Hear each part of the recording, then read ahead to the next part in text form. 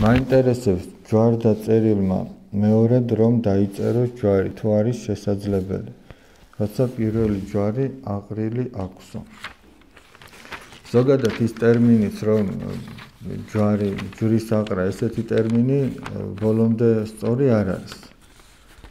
არამედ არის ასეთი რამ თუ მოხდა ის ზუბედური შემთხვევა და ოჯახი დაინგრა შემდეგ ხდება ასეთი რამ თუ არის ისეთი ადამიანი ვიზედაც შეიძლება რომ იქორწინოს მაშინ ეპისკოპოსთან მიდის ადამიანი და ეპისკოპოსი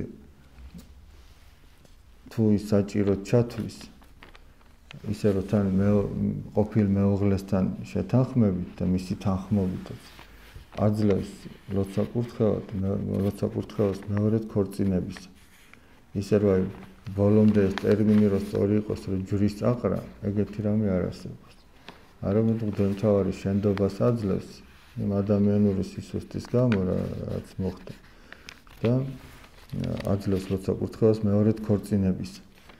ის ამას ეკლესია იმიტომ აკეთებს, რომ ადამიანი კანონიერ ქორწინებაში იმყოფებოდეს და ცოდვაში არ იცხოვროს. იმიტომ რომ ადამიანი ერთში ცხოვრობს ახალგაზრდა შეიძლება შეიძლება რაღაც სასტურის წინაშე არაერთხელ აღმოჩნდეს. ამიტომაც ეს ვარ მოხდა შეიძლება ამ შემთხვევაში უკეთესი იქნება თუ ის საერთოდ არ დაქორწინდებოდა მეორეთი. ან მონასტერში წავიდოდა, მაგრამ ყოველას ხო არ შეუძლია ამის გაკეთება.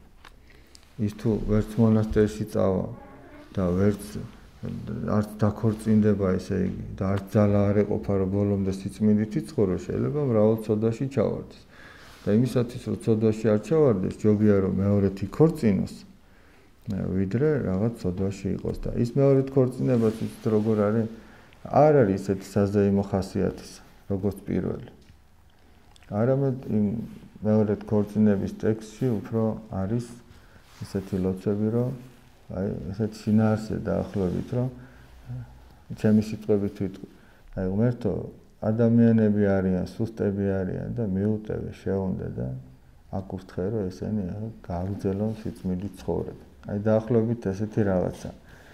პირველი ქორწინების წესი სხვაგვარია, ის საზეიმო არის, მაგრამ მეორე ქორწინების წესი ეს არის რომ ეკლესია ადამიანს შენდობას აძლევს და ესე მობიერად უყურებს